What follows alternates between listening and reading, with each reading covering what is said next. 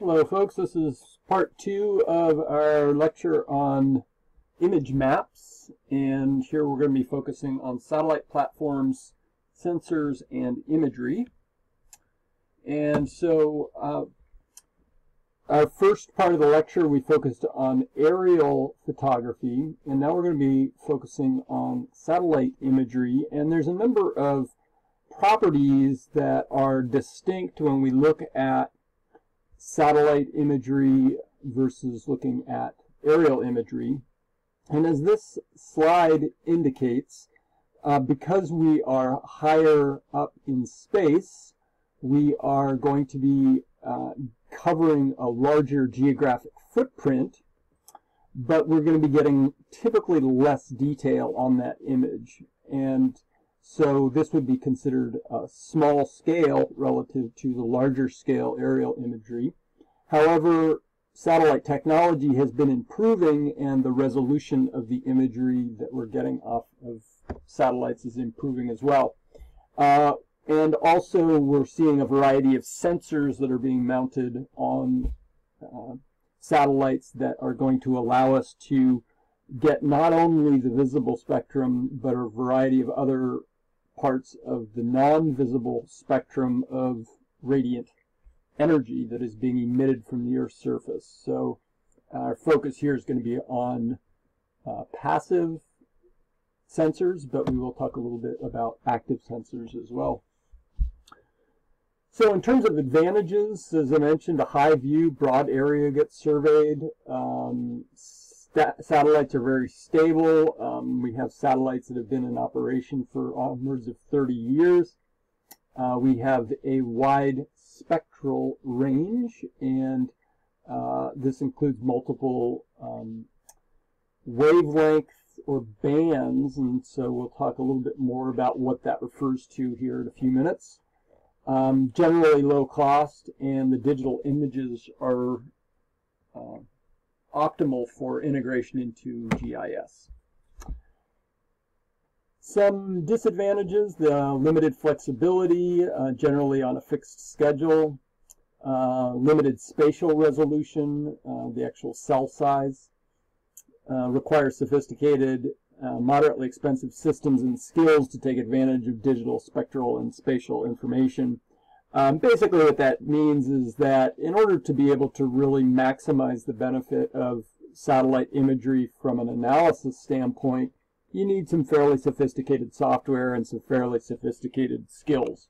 Uh, the introductory skills are taught in our Intro to Remote Sensing course as part of our GIS program.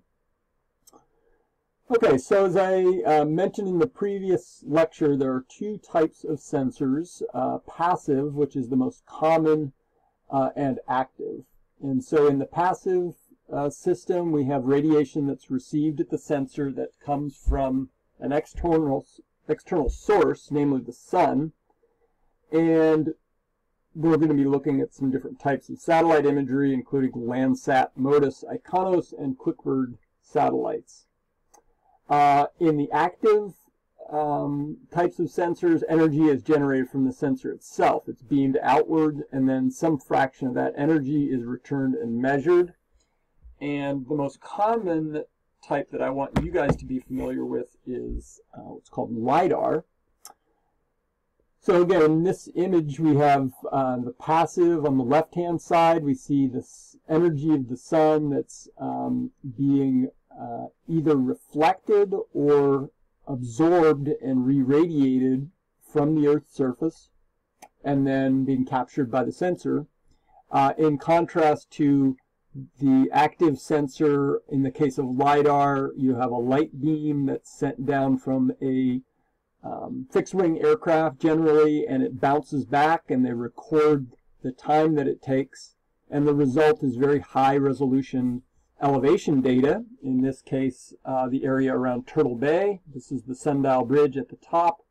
Uh, this is the main museum. You can actually see the light posts. Um, this is the uh, coarse vegetation in the area. Another example of uh, LiDAR being used to measure tree heights in the Peruvian rainforest. Again, that's an active sensor. And in contrast, we have a passive sensor that can gather, in this case, just uh, true color.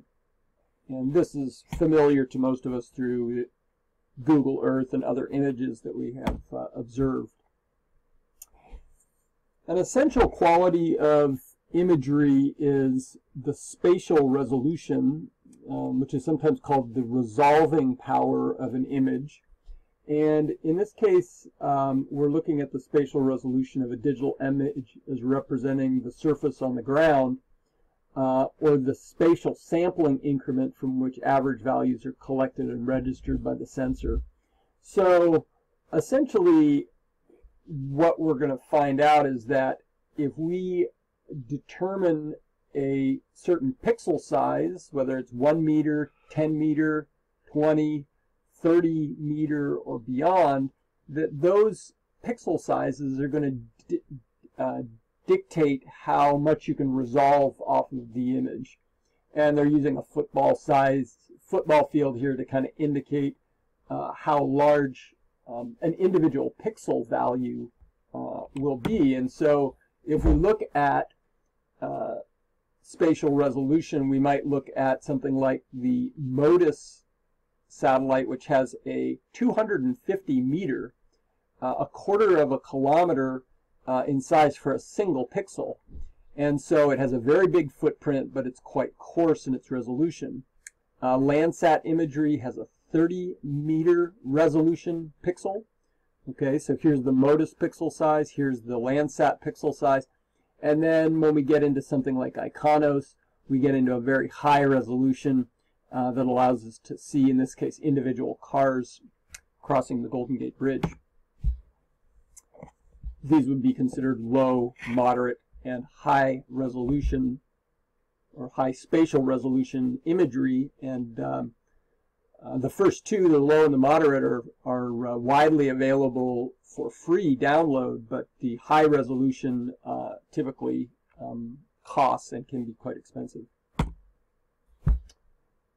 Okay, now when we talk about um, the spectral resolution, this describes the ability of a particular sensor, and you'll remember that a sensor is a camera or some other receiving instrument that is mounted on a particular satellite.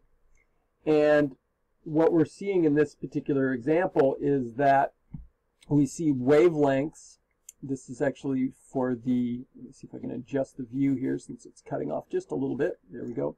So the Landsat uh, Enhanced Thematic Mapper um, program from NASA has a spectral resolution that ranges from 0.45 to 0.9 micrometers divided into eight distinct bands.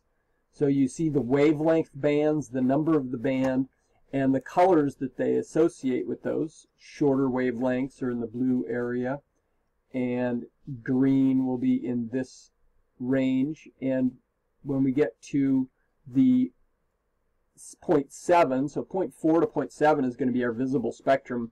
And then we're getting into the non-visible infrared, near infrared, short infrared, and what have you. And that has a distinct advantage because multispectral imagery allows for combining different bands and giving different views of the landscape. So again, this is uh, showing um, the Landsat bands 1 through 7, and you can see that each of them has a slightly different um, view. In this case, it's being shown in black and white, but we could attach blue to band 1, green to band 2, and so forth, and then different combinations will bring out different features on the landscape. Perhaps the most striking example of this is the false color infrared, in which healthy vegetation shows up as red.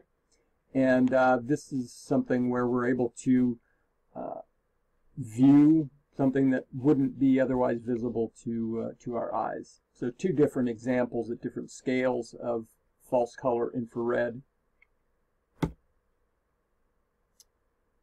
Little bit of uh, kind of technical details on shortwave versus long wave radiation. And all of this fits into this broad topic of the electromagnetic spectrum. I'm not going to be asking you uh, a whole lot of details on this, but you should be familiar with the fact that uh, typically in imagery, we're interested in and able to view the visible and the infrared parts of the uh, spectrum. That's the most common uh, for imagery applications. So again, combining different bands of multispectral imagery, you can see this is the same exact geographic locale. And we have bands 3, 2, 1 that are combined to produce a natural color composite, a false color composite using bands 4, 3, and 2, 4 being the near infrared, produces the false color red. And you can see that this is really giving us uh, a kind of a unique perspective, including the ability to uh, perhaps discern the water more clearly than we do in the natural color So, of course, there are different capabilities that we have within our software, um, which we'll explore a little bit in our lab this week.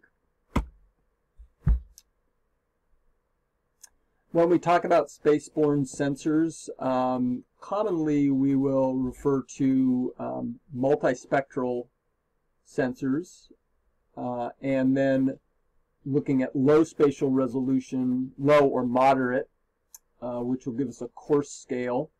Again, generally lower cost, government sponsored, widely available. Larger pixel sizes like 30 meters, which is the pixel size for uh, Landsat. And then we get into the higher spatial resolution, as I mentioned, higher cost, uh, smaller geographic extent, smaller pixel sizes, higher storage and processing requirements because You've got more pixels for a given image, but of course a greater ability to resolve things off of the image. So these are a variety of moderate resolution imagery that you would like that I'd like you to be familiar with. I mentioned Landsat, uh, perhaps the most common and widely available imagery. Uh, MODIS, we saw, has the large footprint that allows us to cover um, large geographic areas uh, with a very coarse pixel size. Uh, and then uh, ASTER, another government program, about 15 meter resolution. GOES, we'll see in a minute. And SPOT, which is a European satellite system, which provides 10 meter spatial resolution. So uh, three times the resolving power of Landsat, which has 30 meter resolution. Okay, we'll take a look at this uh, later. The uh, GOES, the geospatial uh, geostationary uh, satellite system, which is used for uh, weather forecasting.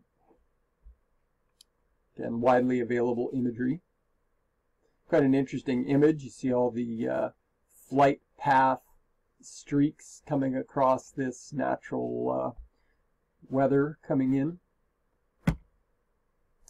And then high spatial resolution satellites. Um, less concerned about you knowing all of these different names, but you can see that we're getting into um, one meter and even uh, sub-meter, less than a meter um, resolution for different aspects of uh, different satellite platforms. So again, the, the resolution is steadily improving with these types. We'll see you all in lab tomorrow to explore what we've talked about in these lectures.